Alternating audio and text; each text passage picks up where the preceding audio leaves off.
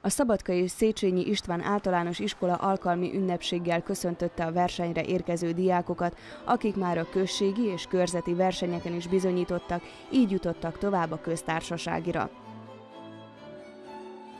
A diákok az, az ötödik osztálytól nyolcadik osztályig vannak, és ez a, ugye átmentek már a kör, községi meg a körzeti versenyen, most itt úgy gondolok, hogy mindenki győzött már előre is, mert nehéz eljutni eddig. A versenyre érkező diákok nem csak a magyar órákon foglalkoztak nyelvtannal és helyesírással, hanem külön órákon is részt vettek az iskolákban. A diákok emelt szintű oktatási óra keretében készülnek fel az ilyen jellegű versenyekre, többek között a magyar nyelvi nyelvhelyességi versenyre is.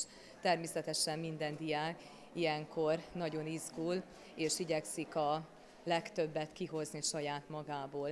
A felső tagozatos diákoknak 20 feladatot kellett megoldaniuk. Nem volt annyira nagyon nehéz, olyan, hát nem biztos, hogy jó helyezést érek el, de örülni fogok, mert igazából ez a köztársasági verseny, úgyhogy már az is jó, hogy eljutottam ide.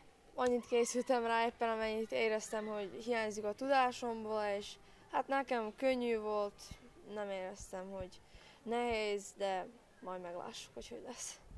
A magyar nyelv és irodalom tanszék az 1994-95-ös tanévben indította el a szerbiai oktatási minisztériummal közösen a magyar nyelvi és nyelvhelyességi versenyt.